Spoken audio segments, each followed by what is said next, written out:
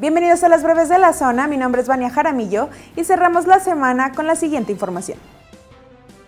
Tras el conflicto que se desató por el desalojo del Estadio de León, el gobernador de Guanajuato, Diego Sino Rodríguez Vallejo, advirtió que de ser necesario, gobierno del estado podría iniciar un proceso de expropiación para que el no camp sea para los guanajuatenses. La mañana de este viernes, representantes legales de Roberto Cermeño trataron de tomar posesión física del Estadio León, tras una orden judicial, pero la afición irrumpió en el inmueble para evitar la entrega. Por las condiciones de seguridad, el proceso se vio interrumpido. En entrevista, el mandatario estatal comentó que se trata de un asunto entre particulares, sin embargo, al ser la Casa de los Esmeraldas, tiene un impacto social muy grande. En ese sentido, dijo que el gobierno del estado está dispuesto a ser el mediador entre las partes para llegar a un acuerdo o de lo contrario podrían expropiar el inmueble.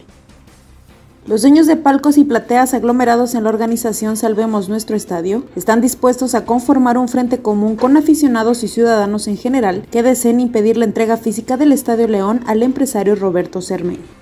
Consultado al respecto, Primo Quirós, quien es una de las cabezas del colectivo, sostuvo que aún no se concretó ninguna posesión física del inmueble, cuando la mañana de este viernes acudieron actuarios para ejecutar el acto. Dijo que si es necesario se debe recurrir a la resistencia pacífica, como ocurrió en 1999 cuando el Club León, entonces una asociación civil, cuyo dueño de la franquicia era el empresario Valente Aguirre, pretendió traspasarse a otra ciudad.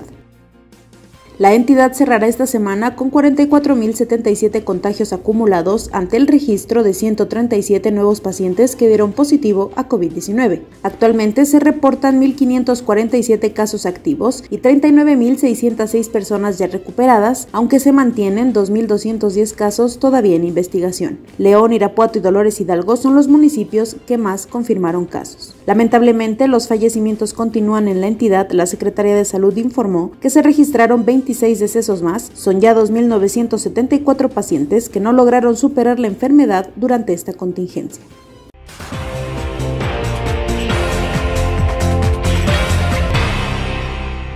Disfruta tu fin de semana y quédate en casa mientras nosotros te mantenemos informados a través del portal y por supuesto a través de todas nuestras redes sociales. Si te perdiste algo, mi compañero Luis Alberto Martínez tiene para ti un resumen semanal.